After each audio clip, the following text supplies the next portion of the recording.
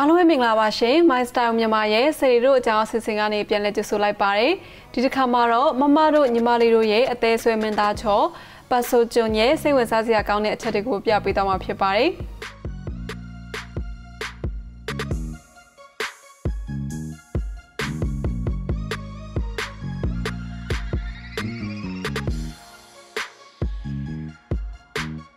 1988ခုနှစ်ဒီဇင်ဘာလ16ရက်နေ့ကတောင်ကိုရီးယားနိုင်ငံဆိုးမှာမွေးဖွားခဲ့တာဖြစ်ပြီးတော့အသက်32နှစ်ပြည့်တော့မှာဖြစ်ပါတယ်။အရွယ်မြင့်ကတော့6ပေတလက်မရှိပြီးတော့သွေးမျိုးစားကတော့ AB ဖြစ်ပါတယ်။မိသားစုမှာအကြီးဆုံးသားဖြစ်ပြီးတော့ညီငယ်နှစ်ယောက်ရှိပါတယ်ရှင်။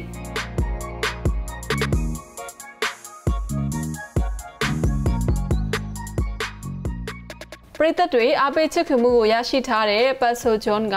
စစ်မှုထမ်းပြီးသွားပါပြီနော်။ သူအခုလိုအောင်မြင်မှုမရခင်ကတည်းကစစ်မှုထမ်းခဲ့တာဖြစ်ပြီးတော့အောင်မြင်လာပြီးတဲ့နောက်ပိုင်းမှာလည်းပြည်သက်တွေနဲ့ထပ်ပြီးတော့ခွဲစီရမလို့တော့ပါဘူး2008ခုနှစ်သူသက်16နှစ်ကျော်ခန့်မှာစစ်မှုထမ်းခဲ့တာဖြစ်ပြီးတော့2010မှာစစ်မှုထမ်းတာပြီးဆုံးသွားခဲ့တာဖြစ်ပါတယ်အခုလိုစစ်မှုထမ်းနေတဲ့ကာလမှာလည်းသူကသူတရုတ်ဆောင်တယောက်ဖြစ်ချင်တယ်ဆိုတာကိုပို့ပြီးတော့တေချာသွားတယ်လို့ဆိုပါတယ်။ တရုတ်ဆောင်တာတစ်ခုတည်းမဟုတ်ပါဘူးနော်တချင်းဆိုတာကိုလည်းဝါသနာပါတဲ့သူဖြစ်ပါတယ် Dream Height 2 Shiva Pretty စတဲ့ drama ဇာတ်လမ်းတွဲတွေအပါအဝင်တခြား drama ဇာတ်လမ်းတွဲတွေရဲ့ OST တချင်းတွေကိုလည်းပါဝင်သီဆိုပေးခဲ့ပါတယ် 슬픈 눈으로 날 바라보지 마요 လက်ရှိမှာတော့ single ဖြစ်ပြီးတော့အလုပ်တွေကိုဦးစားပေးလုပ်ကိုင်နေတယ်လို့ဆိုပါတယ်။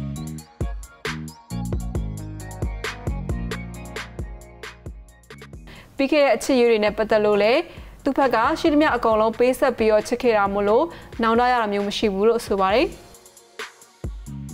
အပြုံးချူချူနဲ့ကောင်းမလေးမျိုးကဆွဲဆောင်မှုရှိပေမဲ့အရေးကြီးဆုံးကတော့စကားပြောကောင်းတဲ့သူမျိုးသူနဲ့စကားပြောရတာအဆင်ပြေတဲ့ကောင်းမလေးမျိုးကိုသဘောကျတယ်လို့ဆိုပါတယ်ရှင်